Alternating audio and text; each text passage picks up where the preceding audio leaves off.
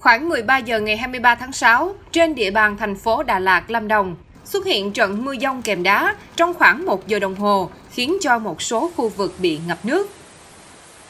Thời điểm mưa lớn, tầm nhìn các phương tiện di chuyển trên phố xuống thấp, khiến cho việc lưu thông gặp nhiều khó khăn. Một số người dân đi xe máy gặp sóng lớn đã ngã ra đường.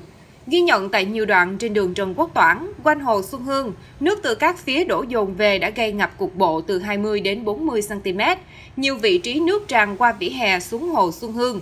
Còn tại các khu quy hoạch Dê Sinh, Mạc Đỉnh Chi, lượng nước đổ dồn về đã tràn vào nhiều nhà dân, gây hư hại đồ đạc. Cơn dông cũng khiến nhiều cây xanh trên địa bàn thành phố Đà Lạt ngã đổ. Nhiều người dân sinh sống lâu năm trên thành phố Đà Lạt cho biết, hiếm khi thấy trận mưa nào lớn như vừa xảy ra. Đài khí tượng Thủy văn tỉnh Lâm Đồng cho biết, lượng mưa dông đo được tại trạm Đà Lạt là 60 mm trong khoảng thời gian từ 12 giờ đến 13 giờ 30 phút. Cơ quan này cảnh báo nguy cơ cao xảy ra lũ, lũ quét, sạt lở đất, ngập cục bộ ở các vùng ven, thượng nguồn sông Cam Ly, suối Mê Linh, đèo Brent.